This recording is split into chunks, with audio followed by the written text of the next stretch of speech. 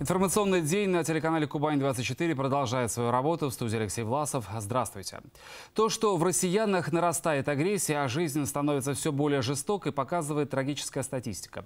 В России на 100 тысяч жителей в год приходится 12 убийств. По другим данным, 22. Типичное убийство происходит не во время бандитских разборок, а после случайных ссор между знакомыми или родственниками. Самая частая жертва убийства по-русски – это собутыльник. Агрессивное поведение, считают психологи, характерно для периода общественного кризиса. То есть, получается, это не мы злые, это времена такие. Так ли? Узнаем у наших гостей в студии практикующий вице-президент в Общероссийском совете по психотерапии и психологическому консультированию Инна Казимировна Селенок. Здравствуйте, Инна Казимировна. Здравствуйте. Так что получается, не о времена, о нравы, а просто о времена? Том числе времена действительно тяжелые. А, много причин тому, что у людей, у людей действительно повысилась агрессия. Можно говорить много о экономическом кризисе, то есть когда люди себя чувствуют неуверенно, когда ситуация нестабильная, когда им не удается в течение суток полностью нормально расслабиться, хорошо поспать, да, нормально отдохнуть, а, как-то переключиться, чтобы не думать о том, что у них на работе что-то не так происходит, и они это выносят домой, это напряжение, оно нарастает, нарастает, нарастает, естественно, что оно выливается в какую-то агрессию. Но здесь еще важно говорить и о том, что люди очень большое время проводят в интернете. И там очень много всяких таких опасных новостей, mm-hmm. говорящих о всем негативном, что происходит, и о убийствах, и о самоубийствах, и о терактах, и о каких-то актах агрессии. И плюс еще по телевидению тоже показывают много таких моментов. И это все нарастает. Это нагнетание, да? конечно. Естественно, что это все не полезно.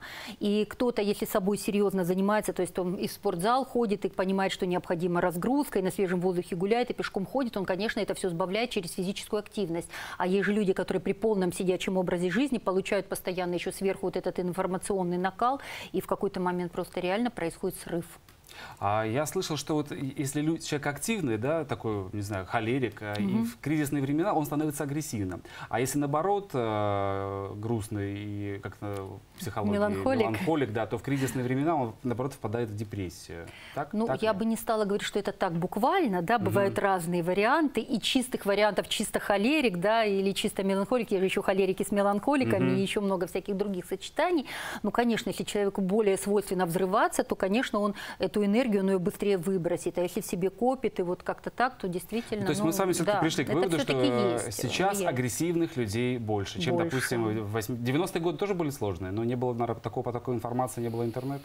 Ну и интернета, с одной стороны, не было, и с другой стороны, все-таки люди, которые в 90-е попадали в эти сложные ситуации, mm-hmm. они все-таки еще жили памятью тех 80-х и 70-х со стабильным миром, с таким советским прошлым, когда была какая-то общая идея, и тогда было все-таки как-то это легче переживать. И люди часто думали, что вот это временно, этот беспредел закончится, и опять будет нормальная, стабильная жизнь.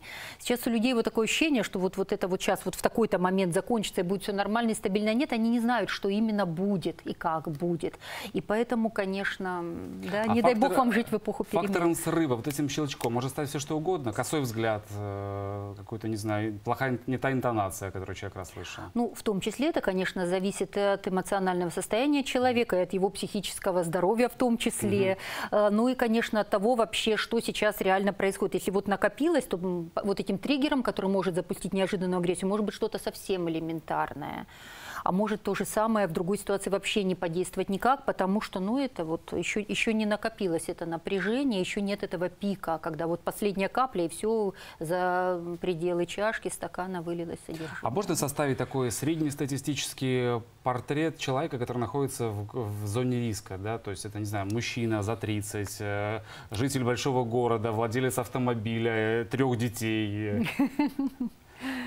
Ну, на самом деле, я не думаю, что количество детей в данном случае является каким-то фактором. То есть э, ситуация, когда у человека свой бизнес, да, когда с бизнесом не все очень в порядке, или он работает в большой компании, где начались сокращения, это тоже фактор риска. За рулем, конечно, постоянно угу. напряжение усиливается на дорогах не очень хорошо. Все сейчас то, что происходит, люди неадекватно часто реагируют.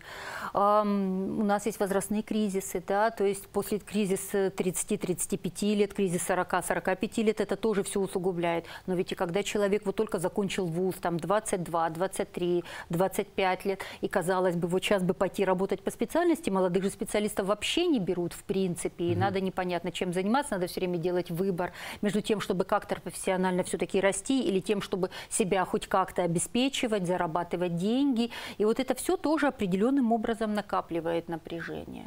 То есть, получается, все подвержены, ну, все сейчас, агрессии. Да, говорить о том, что вот какой-то определенный угу. возраст я бы не стала. Наверное, самое тяжелое сейчас это все-таки пенсионеры и подростки, а не вот человек, который все-таки как-то себя обеспечивает, за себя отвечает, они все-таки в большей мере защищены. Ну, вот мы сейчас дозвонились журналисту, она не пенсионер, не подросток, а Ольга Альшевская, наша коллега. Оля, здравствуй.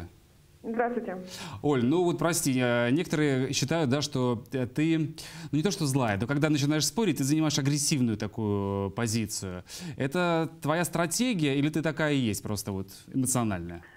Но, наверное, я солгу, если скажу, что я на самом деле такая есть. Конечно же, в студии сидит психолог, и на Казимир, наверное, согласится, что это такая защитная реакция. На самом деле, а, Леш, я очень нежный, покладистый человек и добрый. Но если мне а, отстоять, я, как знаете, как, как-то волчица. Буду биться в кровь, и ничего меня не остановит. Поэтому, конечно же, это защитная функция. Будь я, наверное, немножко мудрее и умнее, я бы отошла в сторонку и смотрела бы на все это, и потом сделала какие-то выводы. Но пока я к этому еще не пришла. Назвать это агрессией, с одной стороны, я не могу. Наверное, это все-таки ну, моему характеру все-таки присуще. Но если говорить об агрессии, тема вашего сегодняшнего разговора, то вы меня извините, как в сегодняшнем мире можно быть спокойным и нормально, э, уравновешенно реагировать на вещи, которые рядом творятся с нами? Это наши дети, это мужчины, которые, ну, извините меня, не отвечают э, нашим требованиям. Это а, те же автомобили, это тоже общественный транспорт, это те же очереди. Это вот те люди, которые работают в сфере услуг, которые считают, что если он начальник шлагбаума, то все,